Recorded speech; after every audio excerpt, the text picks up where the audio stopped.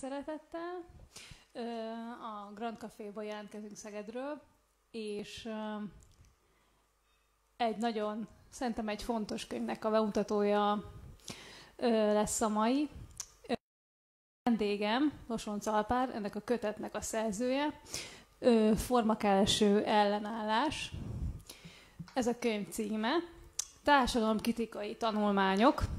És akkor szeretném ezzel lendülni Zalpárt, filozófust, az Újvidéki Egyetem tanárát, a Szeged Egyetemnek is tanárát, illetve tanár, volt tanárát.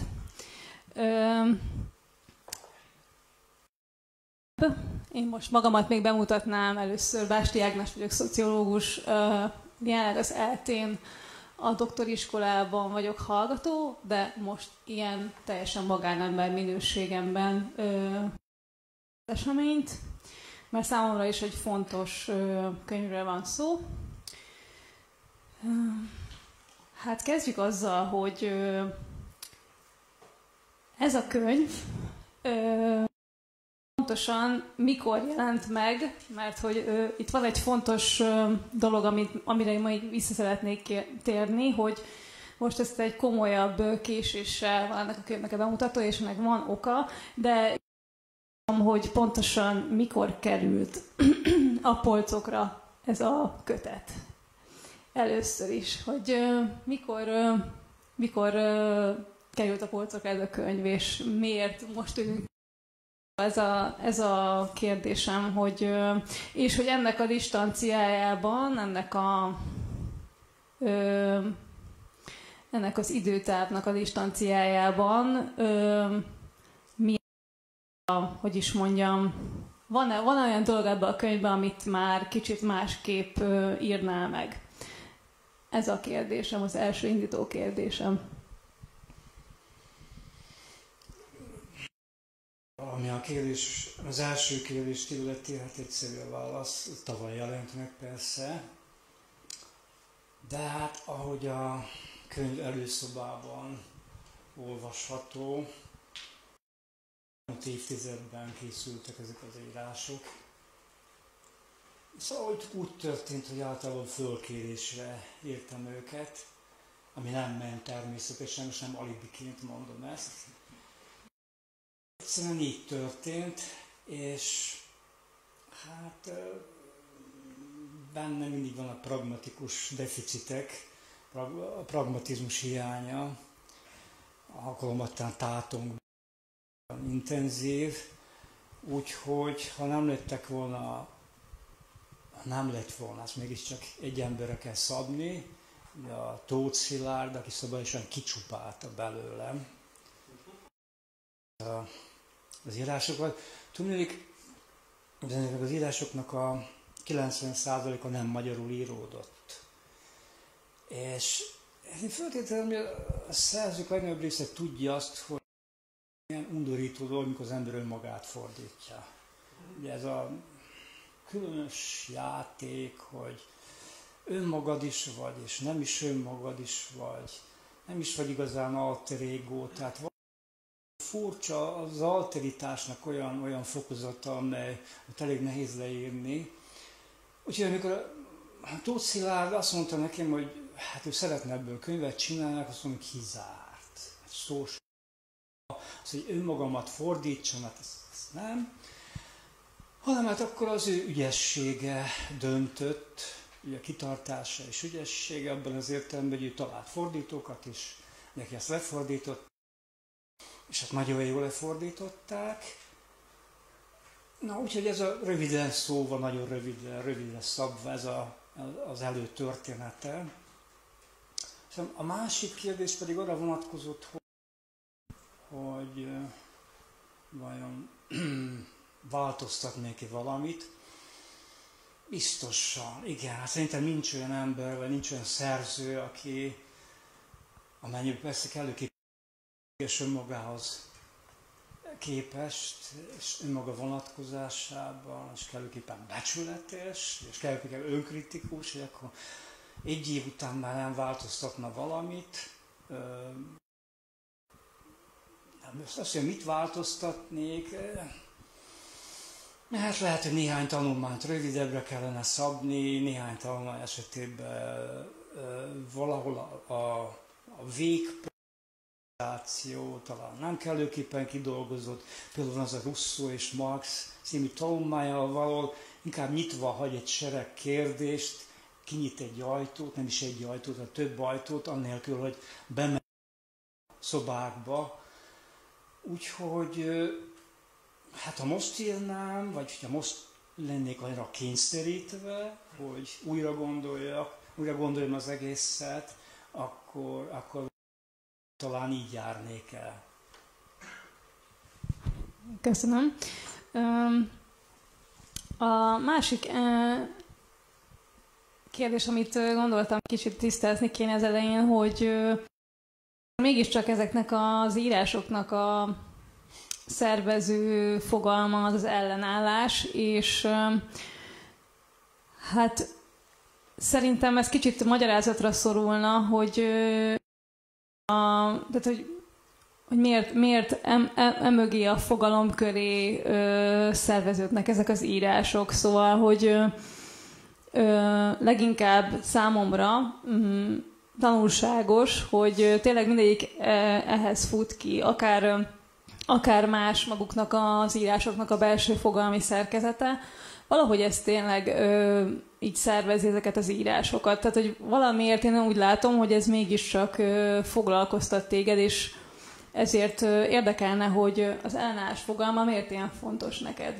Hogy most ez mit tud nekünk mondani, de egyébként még készültem már pár másik kérdéssel, amik ö, nem szeretnének tényleg olyan, tehát hogy szembesíteni a saját ö, mondataiddal, de ö, lesznek, lesznek azért benne olyan, ö, van, van, van bennem egy ilyen elképzelés, hogy föl fog majd részteket olvasni, és majd ezekre kicsit jobban ö, ráfókuszálunk, de legelőször ezt szeretném így tisztázni, hogy az ellenállás fogalma miért, ö, miért központi. Mi, mivel, mivel szemben ö, szükségszerű, vagy mi, mivel szemben szükséges ö, ellenállást, ellenállást tanúsítani, mi, mi ennek a, mit jelent egyáltalán most a 21. század elején az ellenállás? Nos, a, ugye ennek a fogalomnak természetesen van egy hatalmas háttere, és hát elég, hogyha közelebb megyünk a mához, tehát legalább 2007 óta, ugye 2007-ben egyezzük a gazdasági pénzügyi válságok kirobbanását, ugye az ellenállásnak különféle formái multiplikálódtak, és hát ilyen értelemben az ellenállás révén adóztam ugye a kedvenc szenvedélyemnek, hogy, fogal, hogy foglalkozok a mával.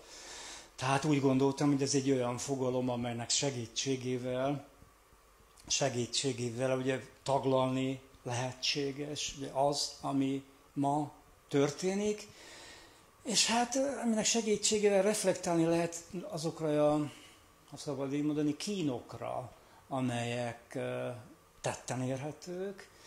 Ugye elvégre ez a cím is arról szól, ezekről a kínokról, hogy a formakeresés, ugye a forma az, ami állandós, állandósultságot jelent, Persze rengeteg jelentése van a formának, de hát ugye azok az anarchisztikus, spontán, diffúz, ugye ellenállási módozatok, amelyeket jegyzünk 2007 óta, tulajdonképpen rendre módra vagy verességet szenvednek, vagy zsákutcába jutnak, vagy, vagy rengeteg dilemmát hagynak maguk után, és hát ezzel szerettem volna foglalkozni, tehát megszólítani a mát. Annak az ellenállásnak persze van egy hatalmas tradíciója. Talán ott érdemes kezdeni, hogy valahogy a reneszánszban, vagy a középkorban, ahol amikor állandóan attól félnek, hogy az uralkodók zsarnokokká válnak, hogy úgy korumpálódnak idővel, hogy zsarnokok lesznek belőle, és hát ugye különféle emberek akkor elkezdik, elkezdik szorgalmazni a, a lázadásra vonatkozó, lázadás az az ellenállásra vonatkozó jogot. Hát ilyen is létezett, e, sőt nagyon is létezett ugye az újkori politikai filozófiában, és ez egy nagyon nemes hagyomány, tehát az ellenállás fogalmát így kidomborítani. Persze akadtak olyanok is, akik ugye megkérdőlezték a, az ellenállásnak a jogát, mint például a Kant, és mások is, most csak példaként említettem, tehát ha úgy tűnik, hogy az ellenállás fogalma körül rengeteg kérdést lehet megtárgyalni, és föl lehet rá fűzni, ha úgy tetszik, a modernségnek az össz dilemmáit is, és beleértve a ma dilemmáit is. Előbb van az ellenállás, és utána a hatalom. De ezt egy Foucault nevezető ember mondta, és hát aztán ő cifrázta, beklinálta különféle formában. Ez is mutatja, bizonyítja, példázza, reprezentálja, tehát az ellenállás fogalma milyen különös súlya bír, ugye a kortás gondolkodásban is, és a kortás politikai praxisban is. Az ellenállás eh, problématikuma úgy is kirajzolódik, hogy az ellenállás negatív értelemben úgy írhatjuk le, mint a forradalom elmaradása utáni kísérletezést. Az, hogy a forradalom helyzete rosszul áll, hogy a forradalom ugye rosszul áll, ezt valószínűleg tartom, hogy nem kell külön bizonyítanom. E, úgyhogy az ellenállás ilyen értelemben a, a, a forradalom valami fajta helyettesítője. Hogy milyen helyettesítője, hát azt próbáltam boncolgatni ebben a, ebben a könyvben. És az ellenállás, még itt elmondanék, rendkívül ellentmondásos jelenség magában az egész modernségben is beleértve a kortás gondolkodást is. És az ellenállásban mindig eh, találtatik az a veszély, hogy végtelenné válik. Az, hogy a végtelenné, a végtelenségbe fullad. Ugye, aki otthon van a hegeli filozófiában, annak eszébe fog jutni a rossz végtelenségnek a fogalma, és ez nagyon ideillik. És vannak olyan, egyébként nem is lényegtelen, sőt nagyon is lényeges és fontos gondolkodók, akik pontosan ilyen perspektívában méricgélik és helyezik mérlegre az ellenállást. Például a Camus, ugye, aki számomra még egy nagyon rokon szenves és nagyon kedvelem, hogyha ő persze nem az ellenállás, hanem a lázadás fogalmát használja, de most ebben az esetben ezt ekvivalensként tárgyalhatjuk. Ő egyértelmű, hogy arról beszél, hogy a, az ellenállásnak soha nem is szabad győzni. Ő ugyanesen abból vezeti le a, mm, a forradalom, vagy a hasonló áttörésekkel szembeni tagadását, hogy azt mondja, hogy a győzelem, mint olyan, valami, ami elvetendő. Nem. Tehát az ellenállás azért kell, hogy végtelen legyen, nem győzhet, nem győzhet, mert, mert ha győz, akkor elkerülhetetlenül az történik, mint ami a 20. században sokszor történt. Tehát ez is egy nagyon súlyos és hát nagyon patinás gondolkodási módozat. A másik, ugye, ami, ami szintén ugye meggondolandó, természetesen a, ugye az ellenállásra lesz, leselkedő meg annyi veszély. De valószínűleg nem járunk messze az igazságtól, ugye azt mondjuk, hogy ugye a ugye a 20. századnak, ugye bezárok a 21. századdal, egyben ugye 1968 egy különös vonatkoztatási pontja volt, és hát könyvek is, könyvek szólnak arról, hogy az, alá, az az ellenállás, amely ott kibontakozott, most félreteszem azt, hogy milyen módozatokban. Hát az az ellenállás, amely ott kibontakozott, kooptálódott lényegében ugye a késő kapitalizmusban. Ugye ez az a nagyon képletesen és nagyon leegyszerűsítve annak a, annak a az ellenállónak az esete, aki Nike cipőbe berúgja a Nike üzletnek a kirakatát, körül most ezt leegyszerűsíteném. Tehát ez a, ez a probléma, ez a csapda iszonyatosan ugye ott várja a sarkon a, az ellenállást, és hát ugye a, a maga a kapitalizmus, mint ugye az uralkodó rezsim, ugye, uralkodó hatalmi forma lényegében nagyon is táplálja az ellenállás bizonyos formáit. Maga a modernség is szokja kultiválni az ellenállás bizonyos formáit. Hát ki nem emlékezne ugye arra a filmre, hogy az ok nélküli lázadó, aki annyira belevésődik az agyunkba. Tehát az ellenállás egyszerre szükséges, egyszerre elkerülhetetlen, és egyszerre veszélyteli ellentmondás, jobb szót nem lehet erre találni, ellentmondások övezik.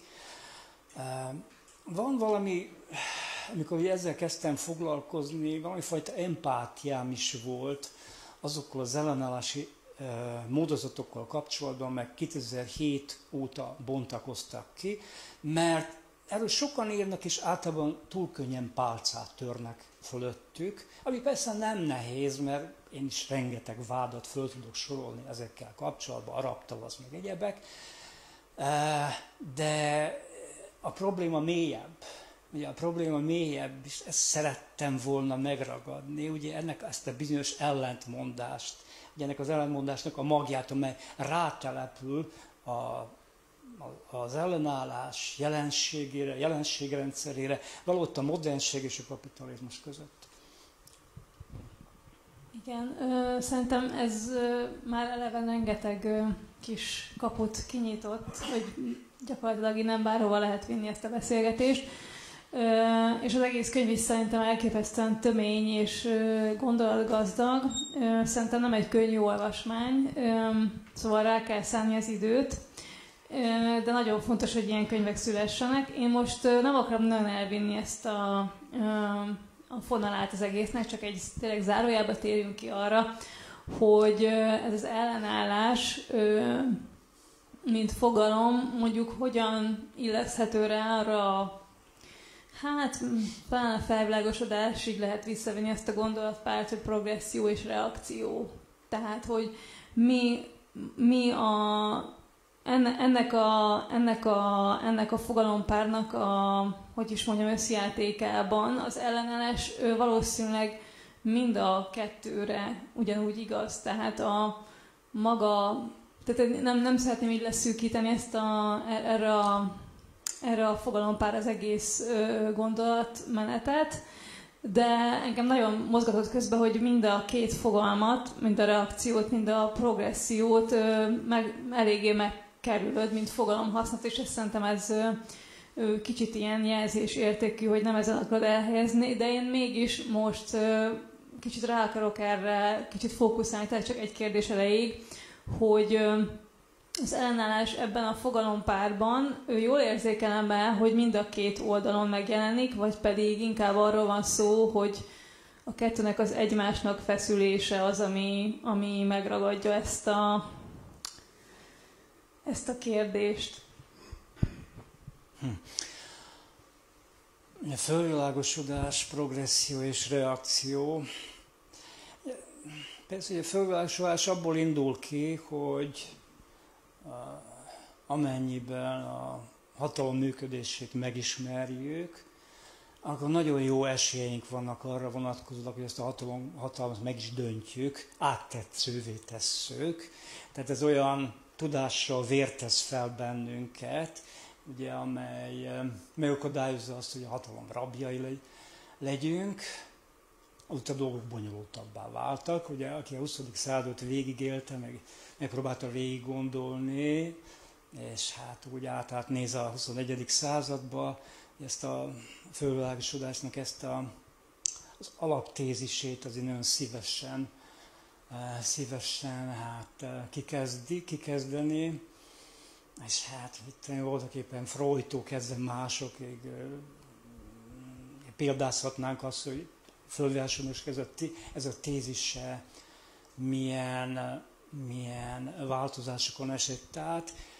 De félreértés ez most nem egy keresztés hadjárat a fölvilágosodás ellen, én ezt mágában sincs letörölni erről vagy más asztalról a fölvilágosodásnak a hagyományát, sőt, hát például a fölvilágosodásnak azt a különösképpen elemét, hogy kritika nagyon kedvelem, és hát főképpen nagyon szeretem gyakorolni, hát mintha ennek a könyvnek is ez lett volna egyik titkos célja, hogy valami fajta kritikát gyakoroljon. De ez igaz, hogy a progresszió és a reakció fogalompárja kikerült mindebből, és No, az régen volt, amikor ezek a szövegek íródtak, de tényleg én is úgy emlékszem, hogy, hogy messze-messze elkerültem.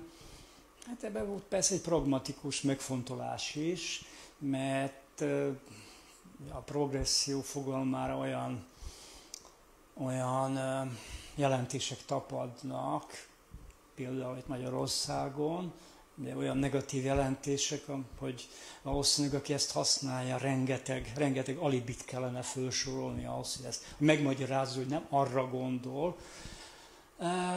De vannak ennél súlyosabb problémák is persze a, a progresszióval, progresszivizmussal kapcsolatban, hogy hát ugye ez, amit most idézőlegbe teszem ezt, ugye posztmodernnek szokás hívni, ez, ez tényleg kikezdte a progressziónak a fogalmát. Tehát, hogyha ezt használtam volna, akkor valószínűleg nem tudom, hány lapajai jegyzetet kellett volna oda bigyeztenem, hogy ezt megmagyarázzam. És hát ahogy mondtad, én egyetértek, hogy tömény, ez egyszerre kritika és egyszerre dicséret is. De hát ilyen, mert tényleg az, nem akartam tényleg megterhelni a, megterhelni a szöveget. Ez az érdekes, ez a könyvtől függetlenül, hogy a reakcióhoz csatolható ellenállás. Van-e például konz, van-e konzervatív ellenállás? Van, van. Sőt, én nagyon szeretem a konzervativizmusnak azokat a vonulatait, amelyek ilyen ellenállási potenciát bontakoztatnak ki. Azt hiszem, hogy nem kevésbé ismert, de ha tényleg akkor majd kiavítasz, hogy például a konzervatív, konzervatívusnak van egy olyan tisztes ága, amely a kapitalizmus ellen beszél 19. században határozottan. Ez szokás ugye elfeledni, meg asztal alá dobni, itt is, egyebütt is, nagyon ritkán lehet ezekkel találkozni. De például egy, egy Amerikában rengeteg ilyen szerző volt, nagyon érdekes szerzők, amikor a konzervativizmusról, vagy éppenséggel a, a francia forradalom által létrehozott progresszióval kapcsolatos reakcióra gondolunk, hogy a The Master és a többiek, akkor általában azt gondoljuk, hogy ezek a reprezentatívak, persze azok, azok reprezentatívak egy Burke és, és így tovább, de mondom, tehát hogy van, van konzervatív, konzervatív ellenállás is, sőt, tehát van ellenállás konzervatív oldalon is, sőt, ha szabad, nagyon kizárólagosnak lennem, akkor azt mondanám, hogy számomra az is az igazi konzervatívizmus, amely ellenáll. De minek ellen? Szóval, hogy mi, mivel szemben fejti ki, de és, tényleg nem akarom ezt így sokáig húzni, csak most hogy érdekelne, szóval, hogy valami ellen, tehát hogy... Persze. Persze, hát mondom, van egy ilyen komoly konzervatív orientáció, ugye, amely azt állítja, hogy a hogy a tradíció azért áll elébünk meghasonlott formában, mert a kapitalizmus értelem nélkülévé teszi, megfosztja értelmétől, csak azt hagyja meg, ami autoriter vonatkozások szempontjából használható, de tehát, hogy a kapitalizmus lényegében csak instrumentálisan, tehát instrumentalizálva, eszközként használva kezeli ezt, és Hát ez a gondunk, tehát hogy nem is tudunk hozzáférkőzni igazán a tradícióhoz, szökik előlünk, ugye a tradíció, Úgyhogy ez, ez, tehát igen, a kapitalizmus ellen egészen egyszerűen így nyersen.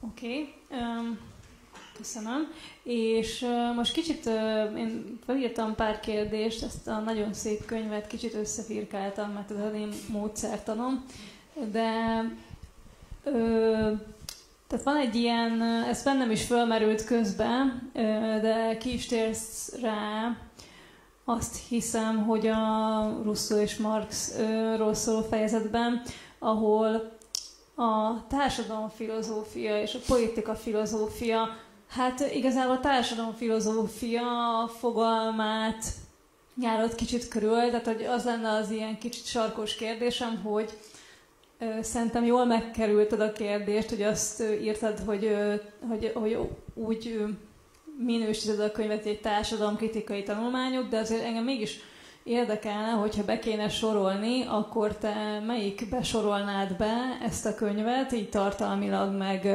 kerete szerint, politika filozófiának, vagy társadalom filozófiának. Nem, ez most egy ilyen kicsit ilyen becsapós kérdésnek tűnik, meg kicsit talán fölöslegesnek, de szerintem onnantól, hogy kitért, kitért rá egy bizonyos néhány oldalon keresztül, innentől lesz az egésznek tétje.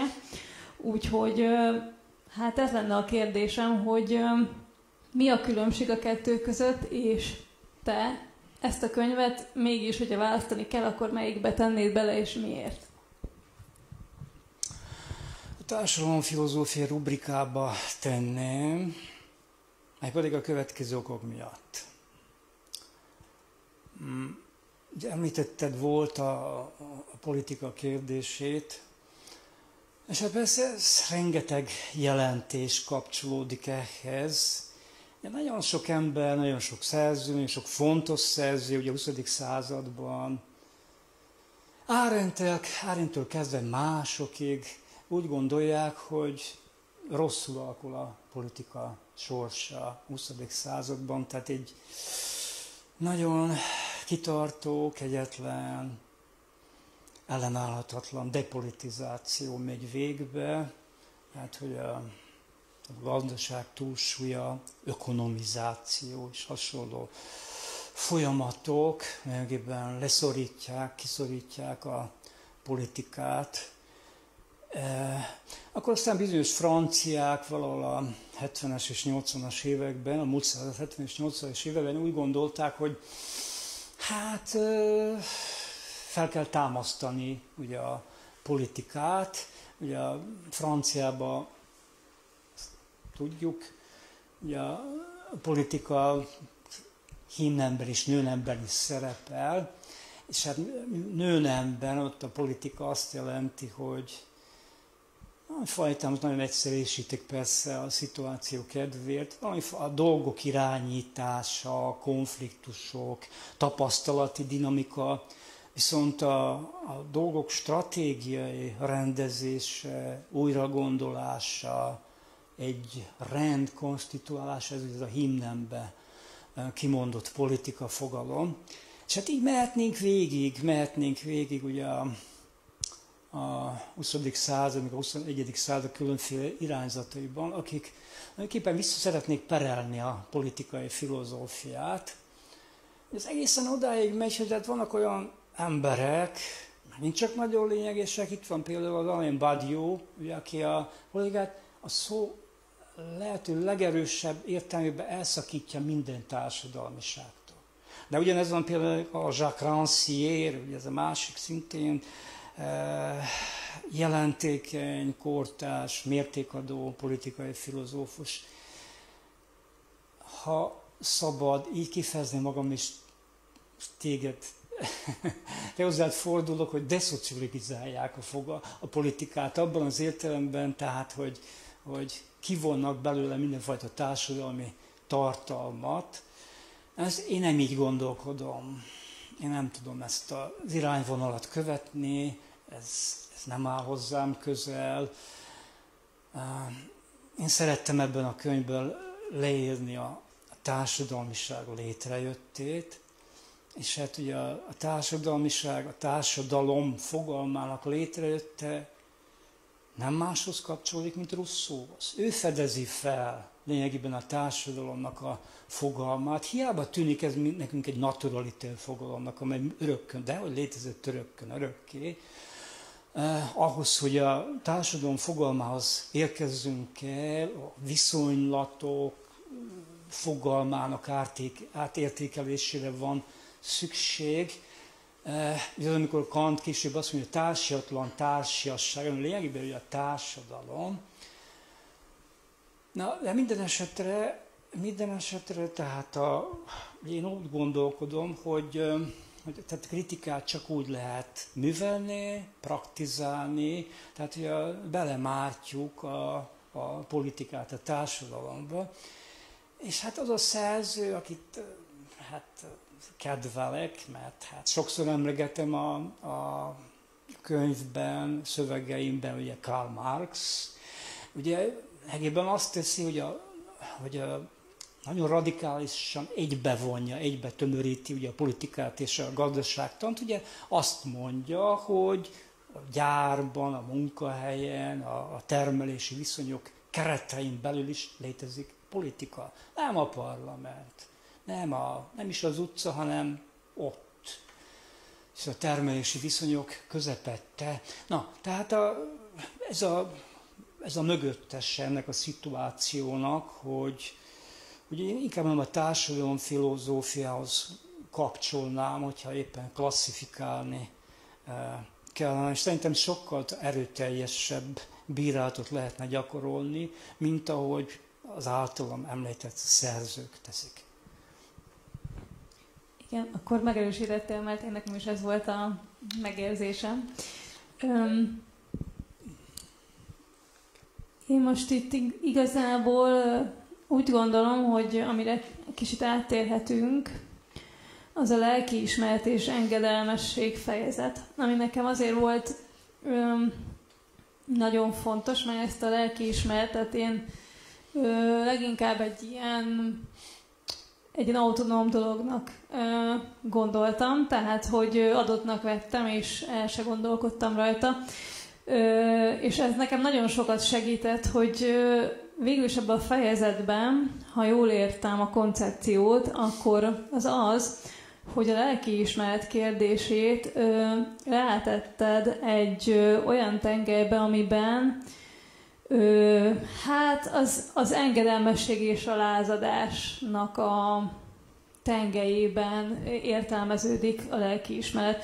És ö, szerintem nagyon szépen föl van építve az érvelés abból a szempontból, hogy, ö, hogy fölvonultatod az erről való ö, tudásokat, vagy ö, koncepciókat, hogy mi is a lelkiismeret, ami szerintem ö, azért nagyon fontos, mert ö, ugyanúgy végülis ezen a tengen kapcsolódik végülis a hatalom kérdéséhez, az, hogy az engedelmességnek a szolgálatában áll a lelkiismeret, vagy pedig a lázadás, illetve a, a egyfajta kérdő, megkérdőjelezésnek a szolgálatában, és szerintem ez egy, ez egy annyira sarkalatos és fontos kérdés, minden, tehát hogy itt, itt lesz az egésznek egy ilyen személyes tétje, illetve a személyes téteknek a felvonultatása.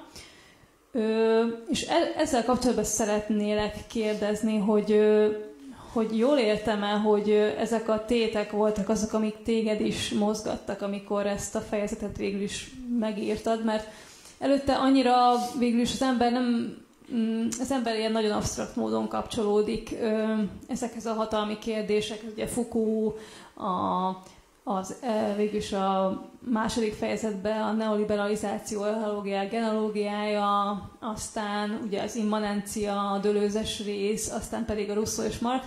Tehát azért, azért mm, ezek a fejezetek, ezek inkább magáról a társadalomról, vagy, egy, vagy, vagy egyfajta koncepciókról beszélnek. De maga ez a, ez a, ez, ez a lelkiismeret fejezet olyan szempontból érdekes, hogy ez tényleg így megérinti az embert, hogy ebben mi az ő, ő személyes, személyes tétjei végülis ebbe a politika, hatalom, társadalom kérdésben. Szóval most egy kicsit ilyen körülírtam ezt a kérdést, de hogy jól érzem el, hogy ez egy ilyen személyesebb hangvételű és személyesebb húrokat pendítő vagy megcélzó ö, írás. Vissza fogok élni a kérdéseddel. Mégpedig a következő módon, hogy egy pillanat elég visszalépek, vagy hátralépek, és még egyszer megpendítem ezt a bizonyos társadalmiság kérdését. A, azért érdekes, és azért lehet érdekes és fontos és releváns a lelkismeret szempontjából is, mert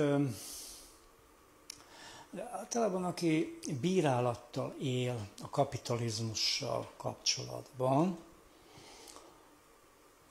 arra szokták mondani, hogy naív, nem reális, és azt szokták gondolni róla, hogy azért ostorozza a kapitalizmust, a tőkés társadalmat, ahogy tetszik, mert ott, vagy itt, ott, ugye mindenki a saját érdekéből indul ki, érdekkövető, és ez egy nagyon csúnya, meg undorító dolog. Hogy így vagyunk kondicionálva, vagy így gondoljuk, hogy a, az érdekkövetés az empátiával szemben, hasonló sajnálattal, más érzésekkel szemben tényleg valami negatív, eh, aki egy gondolat erejéig összekapcsolja meg rá Freuddal, ennek az ellentétét fogja állítani. Ugye a Freud, különösen a késői Freud azt állítja, hogy az ember szabotálja önmagát, tehát saját érdekei ellen cselekszik. Nem. Nála van egy nagyon erős ilyen, de ez a vonatkozás megtalálható Russzónál is. Ő nem azt mondja, hogy ez a kapitalizmus rettetesen csúnya dolog, hogy rettetesen immorális, ahol az ember belesüpped az elkönyvtelenség tengerébe, hát szó sincs erre. Hát ez egy, ez egy mindennapos megfigyelés, ez nem érdekes. Ez nem érdemes, ez nem követel semmilyen reflexiót. Hanem ugye a Russo azt mondja, és itt számomra itt a kapocs ugye kettő között, ha már őket vettem célba, tehát ő azt mondja, hogy az a probléma a kapitalizmusban, hogy az ember nem a saját érdekei szerint cselekszik. Hanem miközben másokat nézi, ebből vezeti le például az irítséget. Az ember mindig másokat néz, ugye a látás, amely társadalmilag van kondicionálva. Mindig a másokat méricsgélve, csak másokat méricsgélve tudunk önmagunkkal, önmagunkkal kapcsolatba kerülni, az önviszonyulás, ugye ez mindig a modernségnek fontos eleme, és hát a, még a, a szabadság fogalmát is a legjobbak így szokták e, e, kihámozni, ugye kibontani, hogy, hogy a szabadság az mindig valami fajta mély önviszonyulást is jelent, tehát hogy úgy még egyszer akkor megismételjem, ez a ezt problematizálják az igazán érdekes emberek, akikkel itt megpróbáltam foglalkozni. Tehát nem azt a nagyon primitív, vulgár érdekértelmezés, nem beszélve arról, hogy külön fejezetet szentelhetnénk annak, hogy az az érdekfogalma, amelyel mi élünk, az mégében egy hatalmas utazásnak a végeredménye. Ez egyáltalán nem azt jelentette eredendően, amit mi ma értünk, ugye érdekfogalma alatt. De most ez számomra egy kontextus, egy meghatározó kontextus az engedelmesség és a lelkismeret kapcsán is. Voltak olyan emberek, akik megbotránkoztak azon, hogy az ember önkéntesen szolga lehet. Ezen még az általán imént szóbozott Marx is megbotránkozott. Van egy Mm, van egy ilyen jegyzete, amivel voltak éppen ő meg is kérdő, az, lehetetlenség mondja, hogy az ember önmagát rapszíra fűzze, az nem lehetséges. Persze, mert ott akkor ugye ő a, a fölvilágosodás mércével mért, és ugye annak alapján gondolkodott, és ennek alapján ugye vetette el.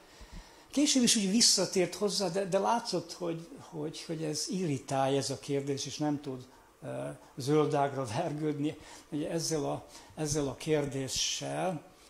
Uh, ez ma is izgat bennünket, én azt hiszem. Ez egy kitörölhetetlen, kiiktathatatlan kérdés, hogy kizsákmányolhatja az ember önmagát. Említetted a, Fukót, és hát talán illendő lesz itt ugye elmondani azt, hogy ő nagyon sok dologgal leszámolt, hogy, hogy eljutotta kösen az élete végéig oda, hogy az ember önmagát gondozza, ugye egy antik ö, eszményeken alapján, hogy az ember önmagát gondozza, hogy az ember olyan, mint egy műalkotás, önmagának a műalkotása, ugye az, az. Na de őt is izgatta ez a kérdés, és azt hiszem, hogy az imént általam említett kitétel, hogy előbb van az ellenállás, mint a hatalom, hogy a hat, az ellenállás mindig megelőzi a hatalmat. Ez valaképp egy, egy válaszkeresés erre, erre a kérdésre, hogy, hogy lehetséges az, hogy önmagunkat kizsákmányoljuk. Tudni tehát egy olyan korban, és hát talán a, a neoliberalizációval foglalkozó fejezet erről szól, ahol a, tehát a hatalomnak, ugye a kényszernek a, a formai rendkívül közvetettek, tehát a közvetlenség, közvetlenség szintjén e, rögtön nem tapasztalhatók meg, hanem nagyon sok reflexió szükséges ahhoz, hogy eljussunk hozzájuk. Tehát a neoliberalizációban ez a kérdés azt hiszem, hogy hatványozottan, hatványozott erősséggel jelenik meg, sőt azt hiszem, hogy a, a hatalomnak a formáit ma pontosan a, a az ön vonatkozásnak ezen módozatai felől érthetjük meg. Hát itt van is egy rész, ahol pont 213. oldalon, ahol pont ezt taglalod végül is, Russzó is Mégis felsejlik azért Fukónak is a szem önmagunkkal való törődés, már pedig szinte csak is úgy szabadulhatunk fel, ha intenzívebben törődünk magunkkal. És én innen most akkor visszacsatolnám inkább most a, a, a Fukó fejezetre, mert szerintem itt most jól körbejártunk néhány fogalmat, ami, ami szerintem itt jól fog jönni, amikor amikor a Foucault fejezetet kicsit, kicsit belemerülünk, csak néhány kérdés erejéig, és aztán át fogom adni a közönségnek majd a kérdezésnek a lehetőségét. De először is én most a... Igen. Szóval nekem most visszacsatolva oda, hogy miért is mondtam azt a furcsa dolgot, hogy mit írnál másképp, ha most írnád, vagy most állítanád össze ezt a könyvet. Mert azért szerintem a, a, a, így az egész ilyen pandémiás helyzet eléggé át, ö, átírt bennünk néhány dolgot. Néhány olyan történés volt, illetve hát alapvetően olyan történések ö, söpörtek végig a világon, amik szerintem a, mondjuk a szabadsághoz ö, való viszonyunkat eléggé, ö, hogy is mondjam, átforgatta, vagy hogy mondjam. Ö, és itt szerintem most, most szó szerint fogok egyrészt felolvasni, mm, ami nekem így megakadt rajta a szemem, mert én ezt kicsit ö, mm, már megkérdőjelezném, de ez most nem az én dolgom, hogy téged megkérdőjelezek, csak Felolvasom ezt a részt így önmagába így kontextus nélkül, és kicsit mélyedjünk el benne.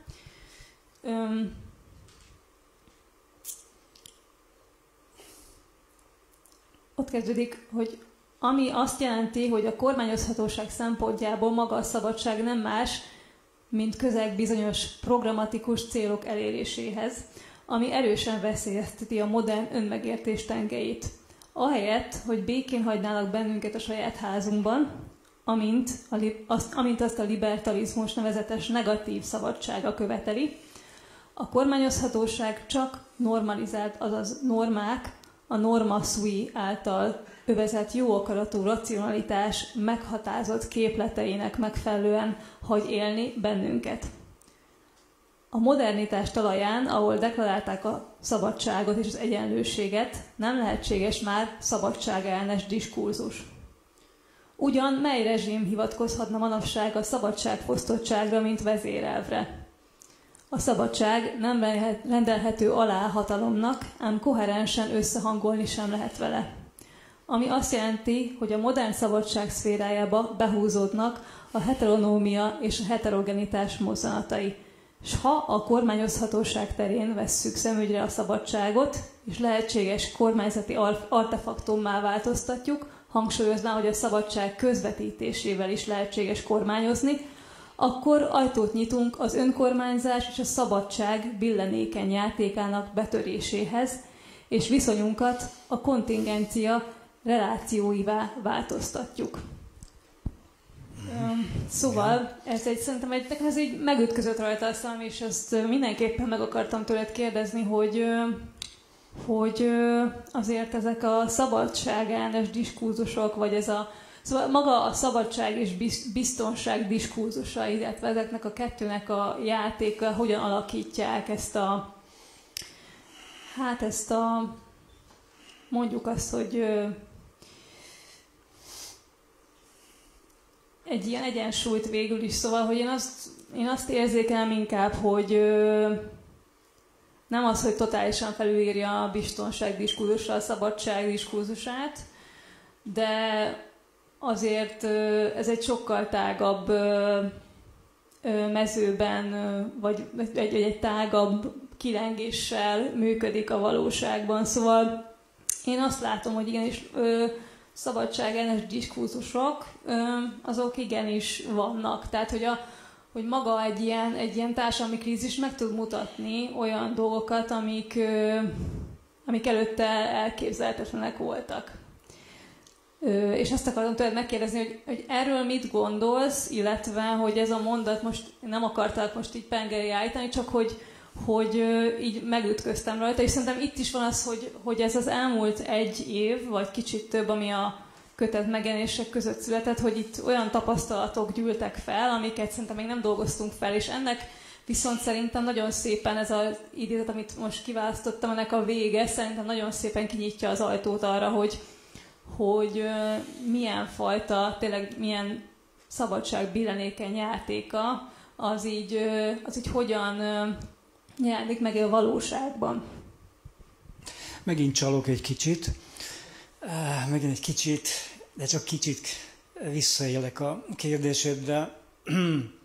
Ugye pandémia, és hogy mennyire változtatta meg ez, ez a konstellációt, vagy a szabadságnak a szituáltságát. Mm,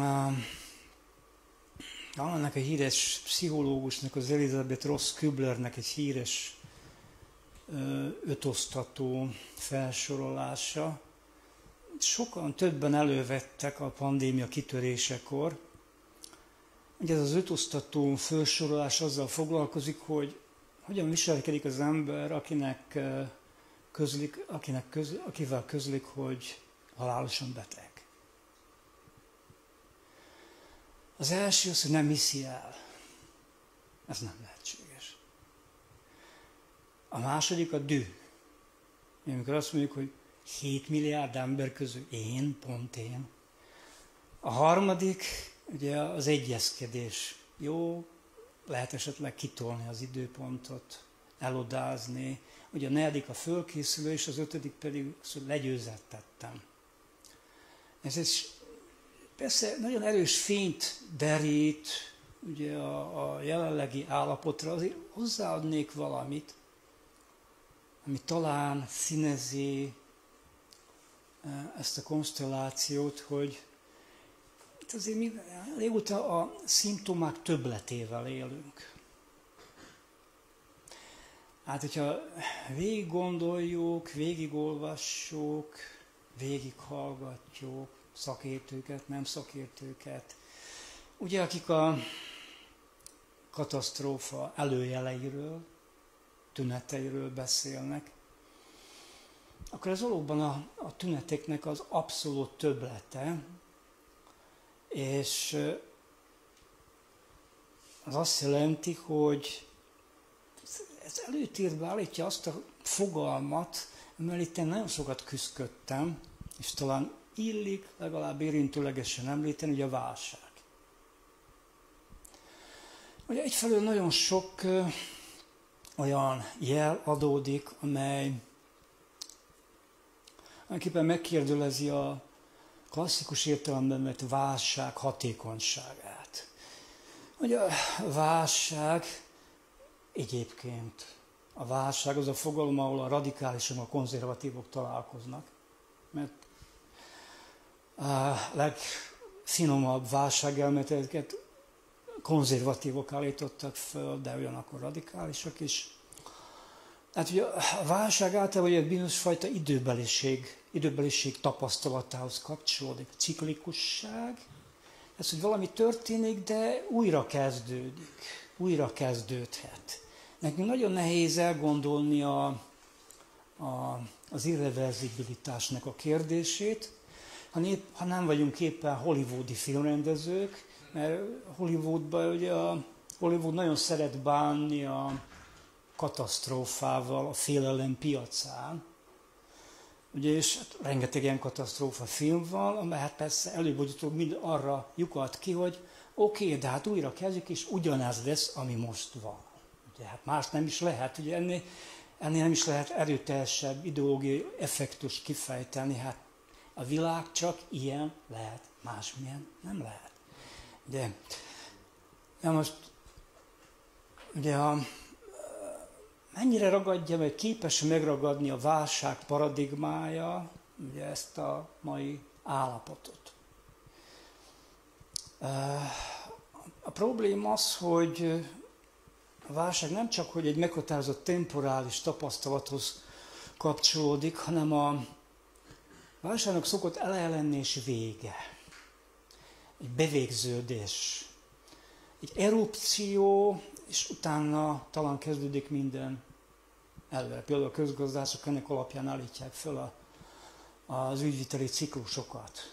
Minden örökös körforgásként.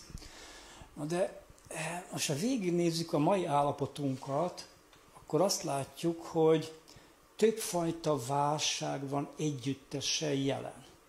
Tehát többfajta krízis szétszóródott, diffúz állapotban van. Nem fejeződött be az a válság 2007-ben, nem fejeződött be sohasem.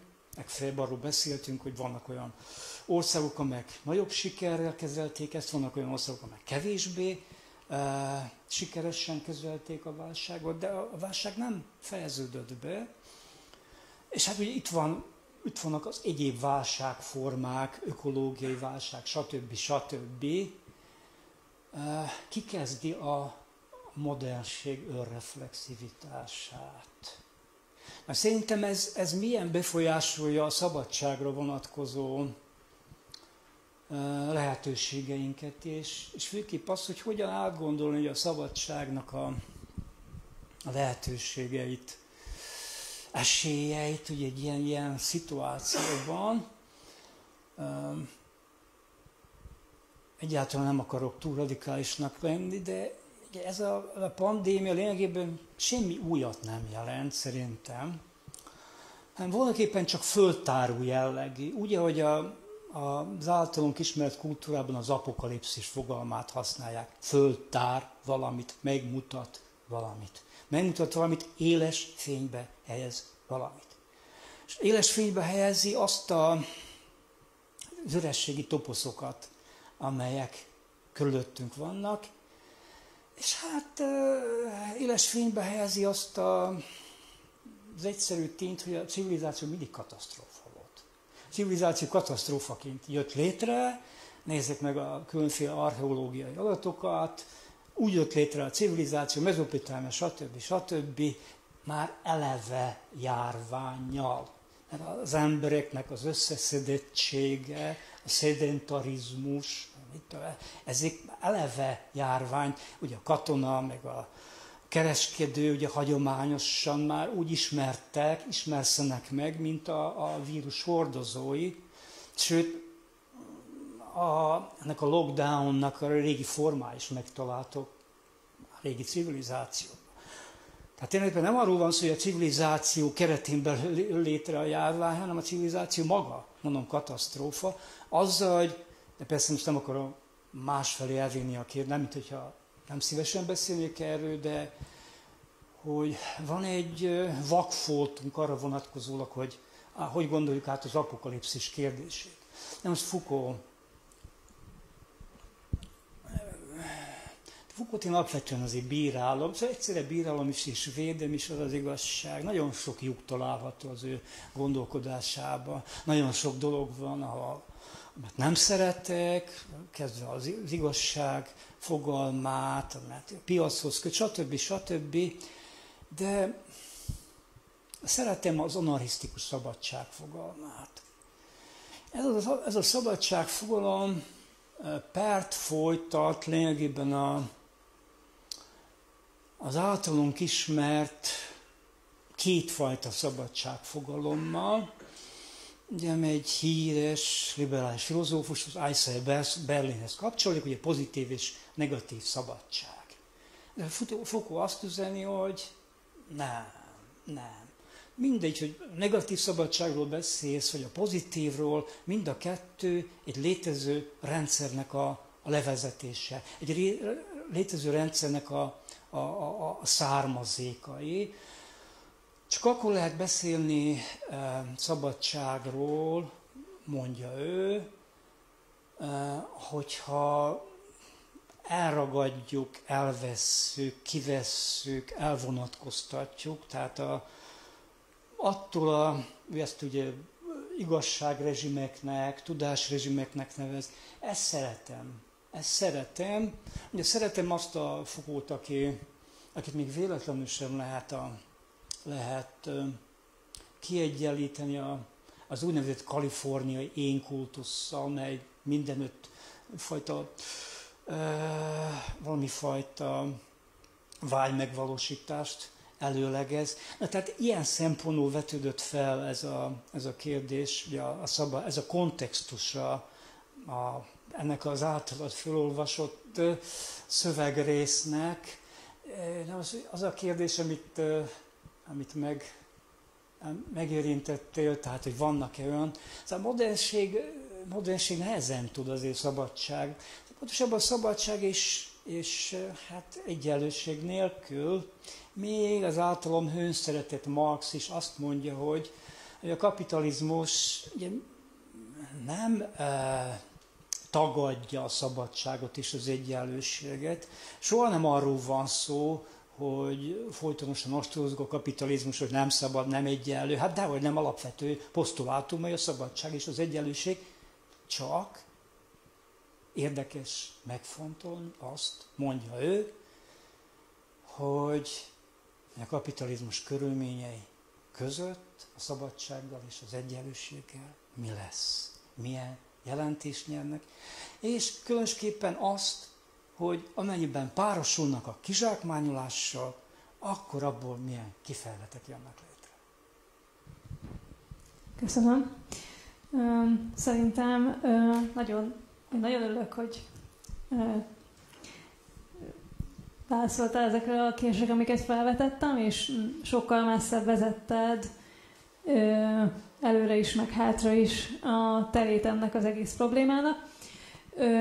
Viszont szerintem telik az időnk, úgyhogy szerintem most ugyanaz a rész, hogy én átadnám a szót a közösségnek, és arra kérteket, hogy lehetőleg egyszerűbb, vagy, vagy hogy mondjam, szóval összeszedettebb módon kérdezzetek, konkrétabban és fókuszáltabban, mint én. Szerintem eléggé... Öm, Titkos.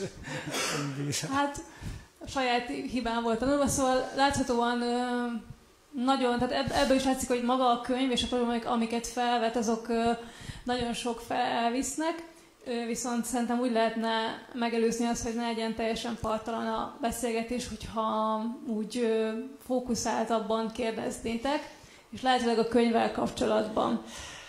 Nem, nem szükséges mindenképpen a könyv, könyvhöz kapcsolódni a kérdésnek, de azért én örülnék neki, mert ez egy könyvbemutató.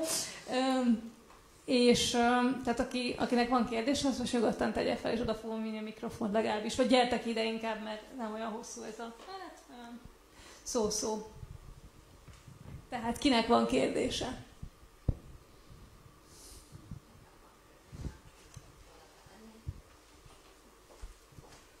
Akkor én azt szeretném kérdezni, én sajnos nem olvastam a, a könyvet még, de nagyon érdekel, de egy fogalmára rá szeretnék kérdezni, az az ellenállás. És a filozófushoz azt kérdezném, hogy a filozófia és az ellenállás fogalma az hogy függ össze. Létezik-e ellenállás nélküli filozófia egyáltalán? Mert hogyha a filozófiát, mint a világ kritikai olvasatát nézzük, akkor abból mint egy logikusan következik, hogy a leíró jellegű filozófia, amely mondjuk a fennállót leírja, legyen az gazdasági vagy politikai értelemben, az nem ellenállás. De hogyha a filozófiát komolyan vesszük, mint a világ kritikus értelmezését, akkor az ellenállás az rögtön, mint fogalmi pár, az bekerül ide. Hogy függ össze a kettő? Létezik-e ellenállás nélküli filozófia? Attól tartok, hogy létezik. Létezik, mert a filozófiának persze nagyon sokfajta értelme és fogalma van, de hát ezek közé tartozik az állagmegőrzés is. Nem beszélve arról, hogy a, vannak olyan filozófusok, akik a filozófiát politikailag impotensnek tartják, például Hegel. Ez más kérdés, hogy hát az általam szeretett filozófia, ez, ez valóban kritikai. Tehát ilyen értelemben szívesen csatlakoznék ahhoz, hogy, hogy az a filozófia az élvezetes, amely valami fajta bírálatot gyakorol, de ezt mégsem nem vonatkoztatnám a filozófia egészére, mert attól tartok, hogy ki, ki kéne zárnunk egy sereg, sereg filozófiát, egy sereg filozófust, és nem csak, nem csak az a probléma, hogy megsértődnének, hanem, hanem lehet, hogy akkor nem, nem tudnánk előképpen megragadni a filozófiának meglehetősen bonyolult történelmét, és hát nagyon ezt a gazdag szőttest, ugye, mint a filozófia történelme, pedig a filozófia meglehetősen büszke a saját történelmére, hova, tud, hova tovább a, filozóf, a filozófia történelmet, saját történelmét fogalmak konstituáló elemének is tudja.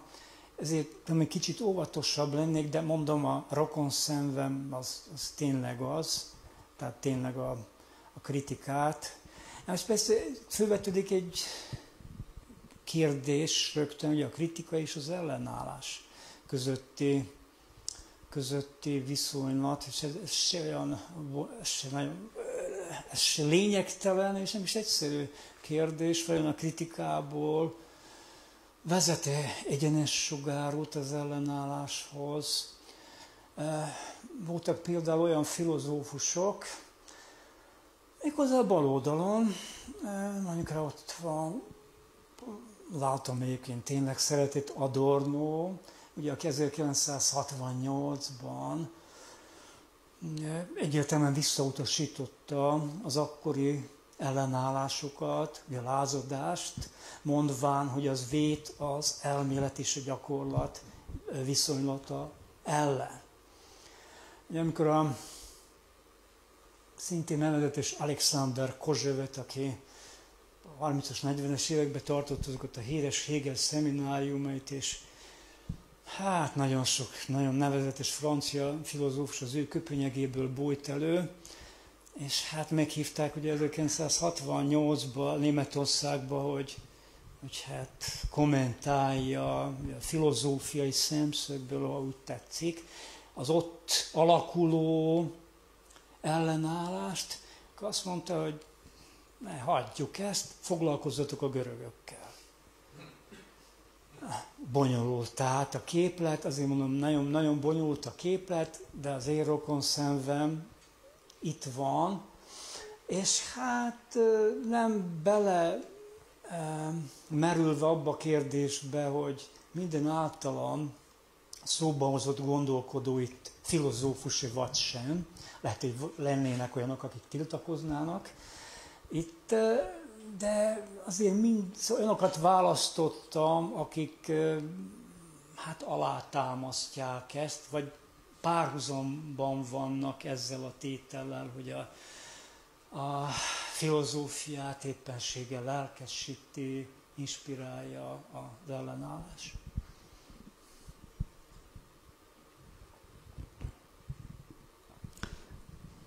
Másnak esetleg van valamilyen remekbe szabott kérdése?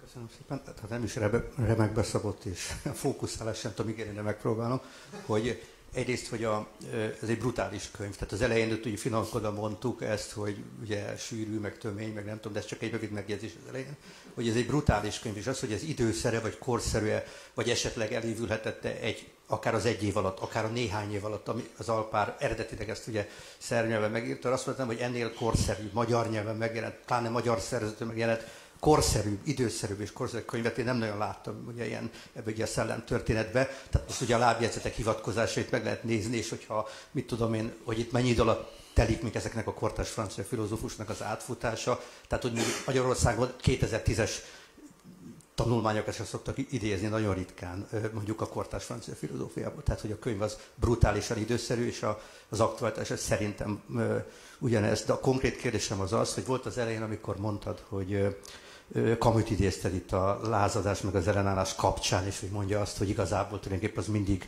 vereségre kárhoztatod, vagy valami ilyesmi dolgot, és hogy oké, hát ezt ugye a Camus vagy nem, tehát ezekben az esetekben ezt nem is ugye ki, teljesen természetesnek veszük. De nem is ez az érdekes, hanem hogy például az úgynevezett marxista, és ugye itt Marx többször szóba került, vagy a platonista, vagy a marxista platonos, tehát direkt használom ezt a látszalagos ellentmondásos fogalmat, pozíciókból is, majd hogy nem ugyanez a következtetés jön ki. Most három példával nagyon röviden meg akarom világítani, hogy mire gondolok. Tehát például az idős Lukács, ugye már a halál előtt lévő Lukács, amikor ez, a sok, ez az anekdota mindig elhangzik, a Vajdam is itt volt egy hét, és akkor is elmondta, hogy mikor legutoljára voltak benne nála, és, és a Lukács mondta, hogy neki volt igaza, már a tanítványoknak volt, és akkor végén mégis mondta a Lukács, hogy nem baj, majd 400 év múlva akkor újra kezdjük. Ez, ez a mondás, ugye ez az egyik. A másik, amikor ugye a Badiúnak van az a hír, de nem akkor a magyar, de hát a TGM-nek, ami nagyon érdekes párhuzamot mutat, a, a Marx Russo fejezete az ő könyvének, a te könyved Marx, a párhuzamokat és különbségeket is bizonyos értelemben, és az is nagyon izgalmas, hogy hasonlóképp született, hogy belőletek ki kell verni a tanítványoknak, hogy egy, egy ilyen könyv létrejöjjön. A szószoros értelemben, hogy megszülessen magyarul. Ez nagyon érdekes. Tehát, hogy ott ugye írja a TGN, nagyon provokatív rész az, amikor azt mondta, hogy tulajdonképpen, hogy a proletariás megszüntesse önmagát, az majd csak az eszkatoma, vagy a végidőben, vagy amikor a kapitalizmus kifutotta magát, ez csak akkor tud bekövetkezni kvázi, tehát addig nem tehetünk semmit hogy ezt meggyorsítsuk, megsürgessük, vagy ilyesmit mond.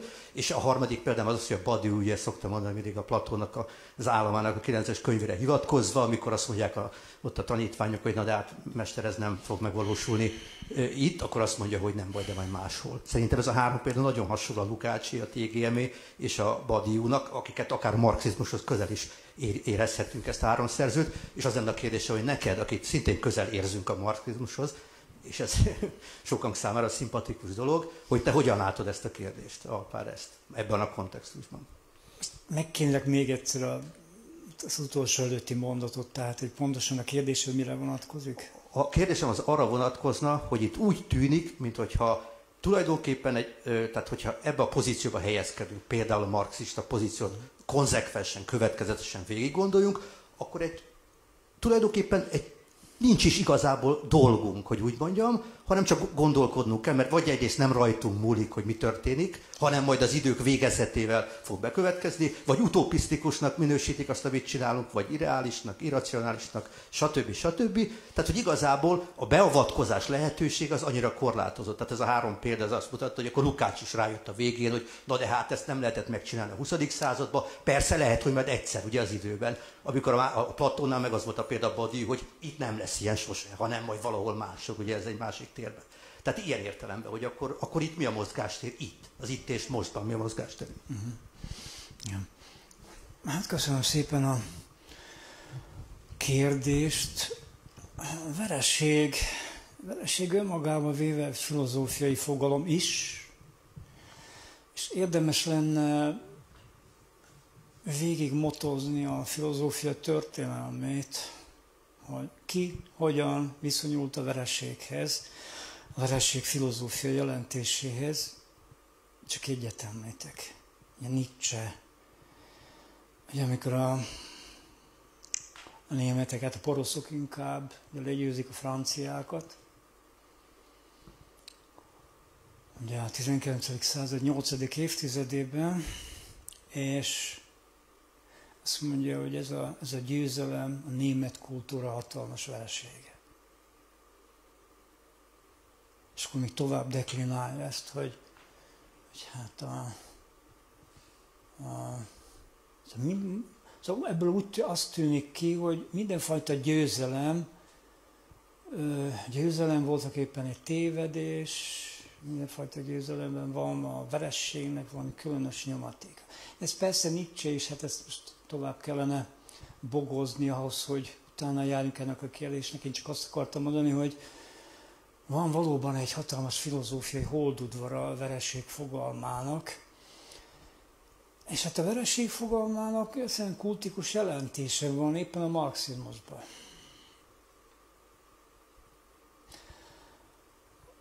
És ezt többféleképpen lehetne értelmezni, lehetne úgy is értelmezni, talán egy első értelmezésként, hogy a veresség tanulásnak egyfajta lehetősége. Én is említettem, Pistai szóba hozta a Badiót, és hát ugye aki a, a Beckett tanulmányában van, voltak éppen ez a fordulat, hogy megpróbáltuk, nem sikerült, újra meg kell próbálni, újra meg kell próbálni, újra meg kell próbálni. Én még úgy emleget is többször ezt a, ezt a kifejezést. Na most, hogyha kritikusabban mm, viszonyulunk ehhez a kérdéshez, akkor, és ismét szóba hozzuk Kamőt, akkor persze úgyis érvelhetünk, hogy ez félelem a győzelemtől. A győzelem az különös, különös felelősséget ró arra, aki győz. És hát ugye innen ez a bizonyos félelem, mert mit tenni, hogyha történetesen a győzelem a ölünkbe hullik, amely nem, persze nem fog úgy ölünkbe hullani kvietista módon. Pista egy szóba hozta marxizmust. Marxot nevezték már ö, vallás nélküli kálvinistának is abban az értelemben, hogy minden predestinát, és hát ilyen értelemben, ilyen értelemben valóban csak várakozni kell, de hát ez még persze Calvinnál semmilyen egyszerű. Szóval minden esetre ez nagyon, nagyon erőteljesen fölveti a persze elmélet, gyakorlat kérdését, de ezen felül a negáció és az affirmációnak a viszonylatát is. A negáció egyébként a kötetben is egy fontos műszó, közben ugye hadakozok a vitalizmus különféle képviselővel, mint például Foucault, Deleuze, akik lényegében elvetik a negáció fogalmát. Eh, én itt eh, nem pretenziózus, azt mondja, Hegeli János vagyok, én azt gondolom, hogy negáció nélkül nem lehet végig gondolni eh, becsületesen a világban lévő állapotunkat. Ugyanakkor így hallatlanul nehéz megfelelő viszonyt találni ugye a negáció és az affirmáció között. Ugye a különféle vitalista filozófusok, beleértve például az Antonio Negrit is, aki szintén itt szerepel, ugye azt gondolják, azt gondolják hogy a tagadás az függ attól, amit tagad.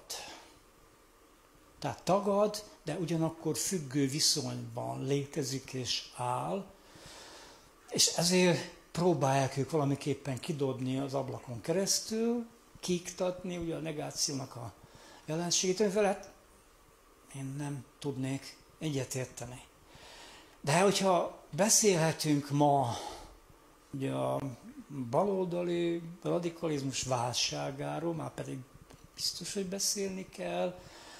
Ha szeretnénk beszélni ugye a baloldali útkeresésről, a baloldali gyötrelmekről, az emancipáció gyötrelmeiről, akkor az egészen biztosan függ majd attól, hogy ez a radikális ellenállási formákat kereső baloldal nem igazán tud választ adni erre a viszonyra. Tehát a negáció és az affirmáció kérdése.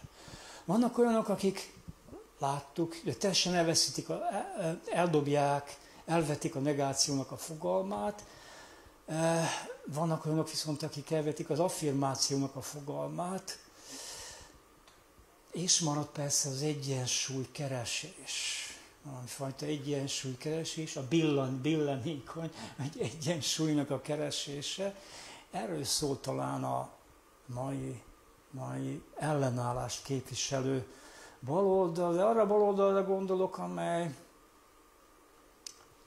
André Golt régi szavával élve nem fullad bele a reformista eh, reformokba, tehát a végtelen reformokba, hanem hát egy adott pillanatban megszakítja a reformokat, és mássá változtatja azokat.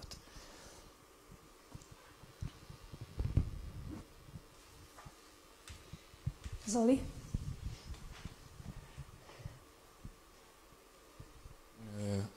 Nem előre kigondolt kérdés, de lehet, hogy úgy fog tűnni. A kötetben sorrendben a legelső tanulmány, az, annak az a szép címe van, hogy a jövő emlékezete, ha jól, jól idézem, ugye? amelyet legkésőbb írta a, a született időrendben a legkésőbb. Uh-huh. És egy e-mail váltásunk során, most erre fogok hivatkozni, kicsit tisztességtelen módon, azt írtad, hogy és ezt azóta meg is akartam kérdezni, csak elfelejtettem megírni, úgyhogy így nyilvánosság előtt kérdezem meg, hogy ennek a titkos ihletője Walter Benjamin filozófiája. Ezt kifejtenél egy kicsit, hogy milyen értelemben a titkos ihletője, és miért titkos? Vagy nem, nem biztos, hogy titkos szót használtad, vagy rejtett, vagy valamilyen szót használtasz?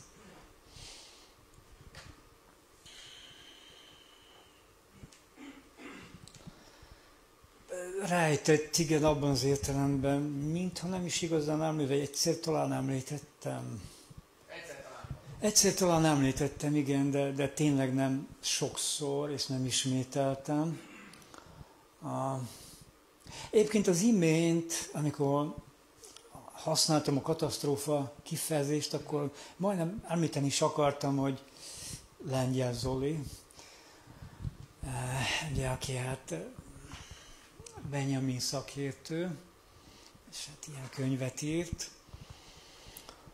Hát ugye az ő gondolkodásában a katasztrófa, ami különös szereppel bír, tehát ugye ő az, aki, és most viszont Ágneshez fordulok, aki expressis verbis ugye azt mondja, hogy nem a progresszió alapján kell elgondolni a történetet, hanem a katasztrófa modellje alapján.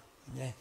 Persze mindig érdekes kérdés, hogy ki az, aki látja a katasztrófát, ki az, aki képes a katasztrófát látni. Ugye önáll az angyal, ugye a visszatekintő alman különös szerepet játszik, de hogy ezt hogy lehet ma végig gondolni, ez, ez rendkívül érdekes kérdés. Van itt egy összefüggés, egy párhuzam, akár Fukóval is, mintha, mintha említeném is ott ab, ezt abban a szövegben. Ugye a Foucault, aki ugye Derridával ellentétben nem messianisztikus, ugye az ő gondolkodásában a messianizmusnak semmilyen szerepe nincs. Ugye?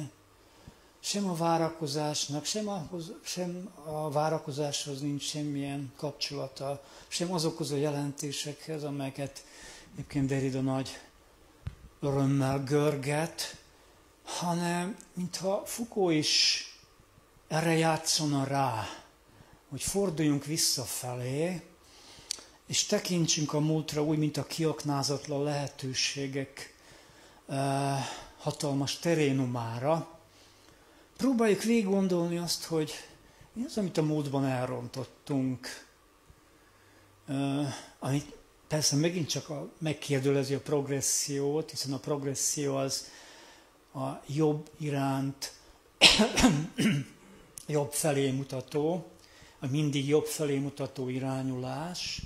Tehát ez járt az agyamban, mikor ezt, ezt írtam, tehát a jövőre vonatkozó emlékezés.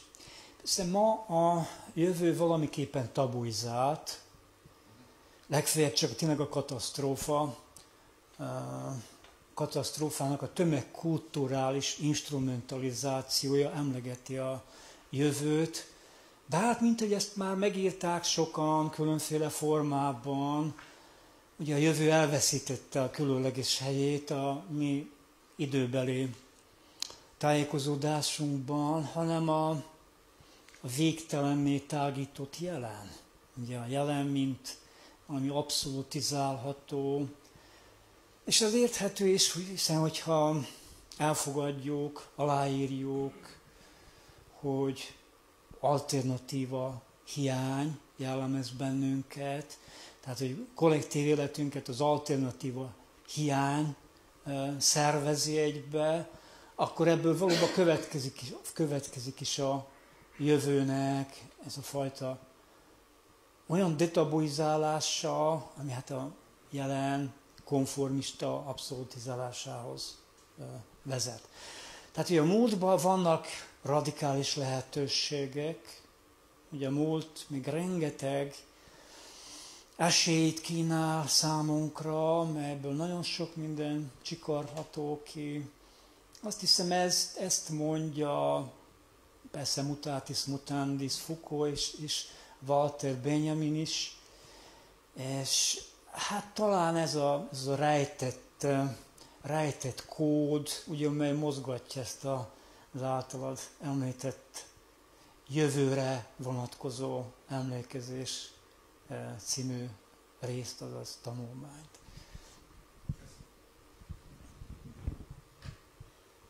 Valakinek még esetleg? Jó, akkor én most még igazából közben elővettem egy másik kérdést, mert sokkal többel készültem, de ezt még azért sajnálom, ha nem kérdezném meg, úgyhogy most meg fogom kérdezni.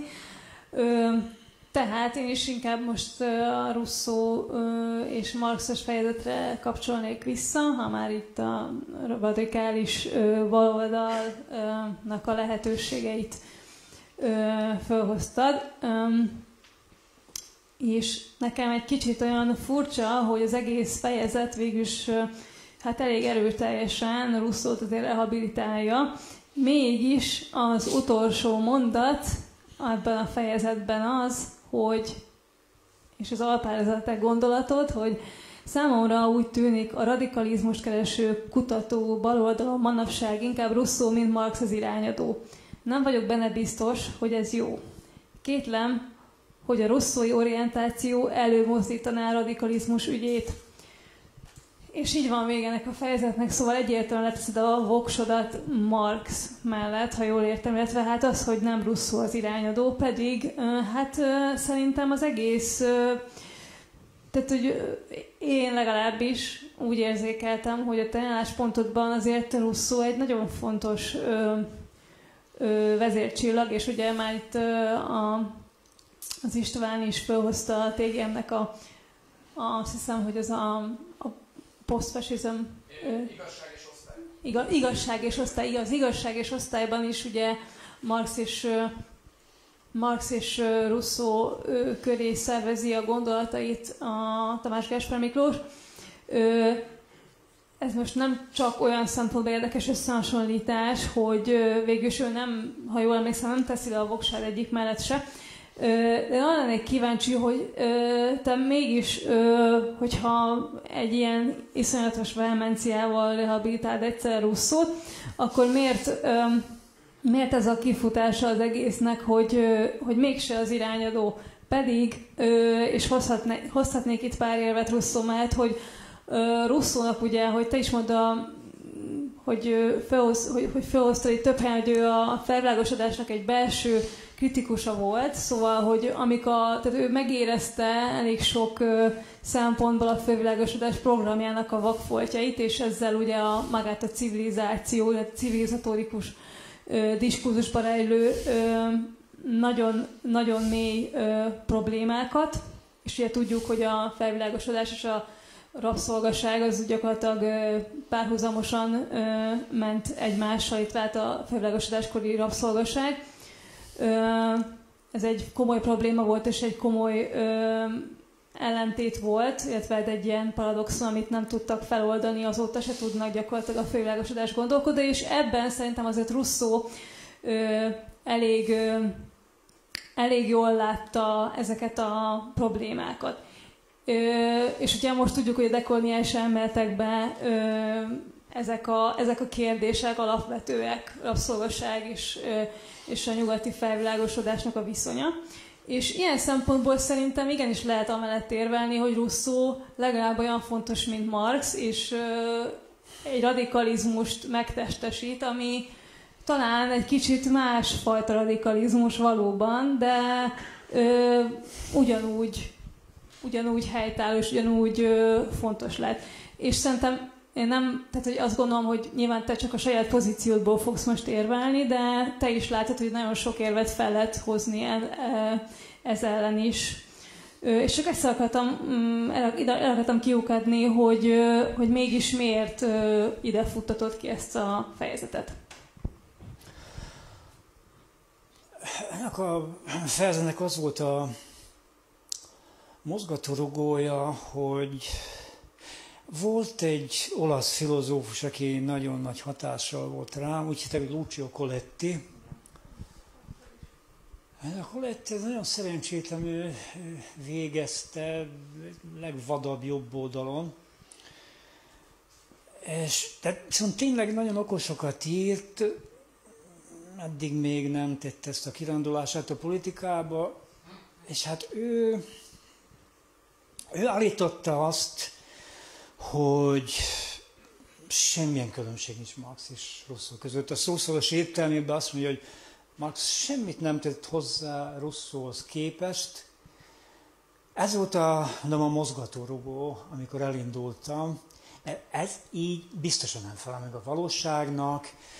Ugye a most hatalmas szöveget kanyaríthatnánk le arról, hogy amikor Russzó élt, az egyébként is gyermekcipőben topogó francia kapitalizmusnak még csak a kontúrjai látszottak. Rengeteg olyan könyv van, tanulmány, ami azt mondja csak a 19. században. Na, magyarán mondva, a Russzó nem is láthatott egy sereg olyan dolgot, amelyet Marx is ugye lényegében a féle pionírként látott meg, és tehát ilyen értelemben ezt, ezt így rendbe akartam tenni, hogy ez a politikai gazdaságtan kritikája, az mégiscsak mérhetetlenül több ahhoz képest, amit Russo létrehozott, Egyébként ez szerepel is a könyvben, mert én szerettem hogy ezt az egész vonulatot, hogy a Russzónak volt egy nagyon érdekes olvasója, ugye az Adam Smith, aki, akit általában úgy szoktak elkönyvelni, mint a liberalizmusnak a kutfejét, de ebből is látszik, hogy a dolog bonyolultabb. Ezt teljesen egyetértek veled, Russzó, Russzót alig lehet fölülbecsülni elidegenedés első bírálója például.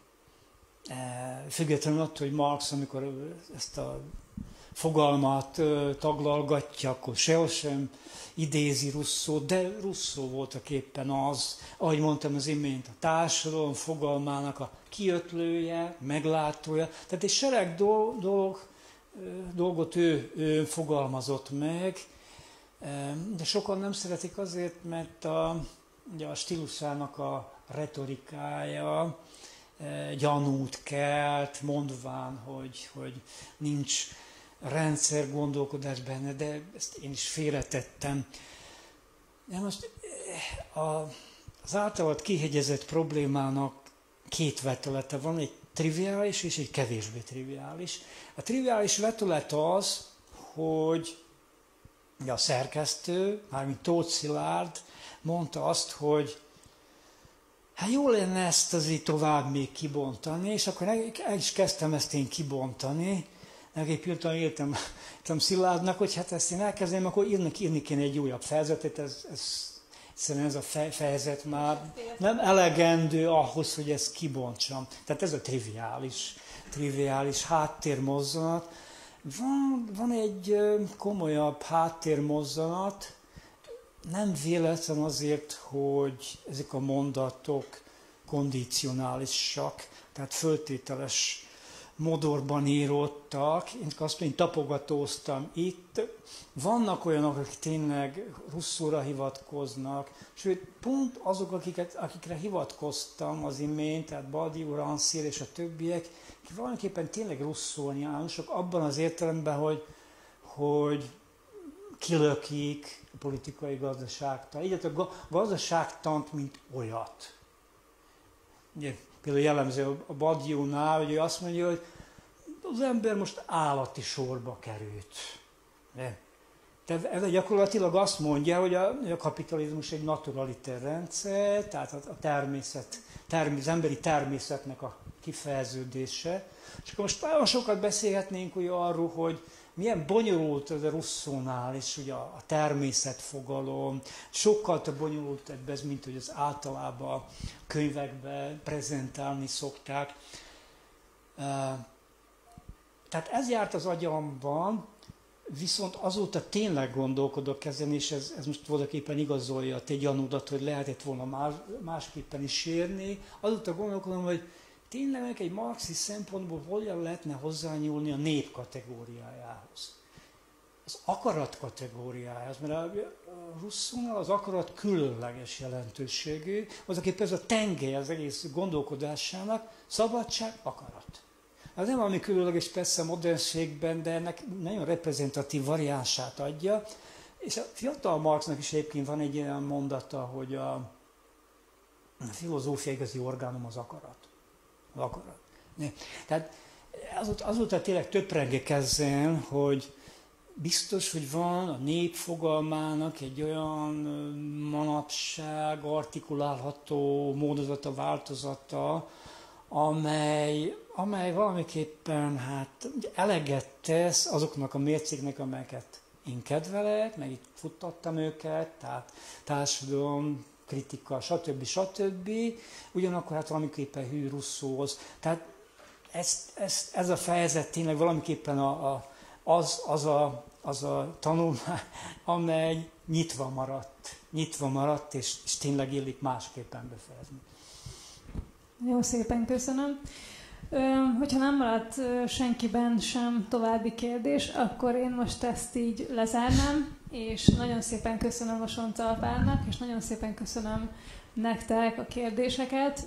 Szerintem ez egy jó beszélgetés volt, és, és reméljük, hogy várjuk. Én többek között ennek a Russo Marxnak a folytatását is. Igen. Nagy-nagy szeretettel várom. Köszönöm Jó. szépen. Én is köszönöm. Köszönöm. Szépen. Sziasztok.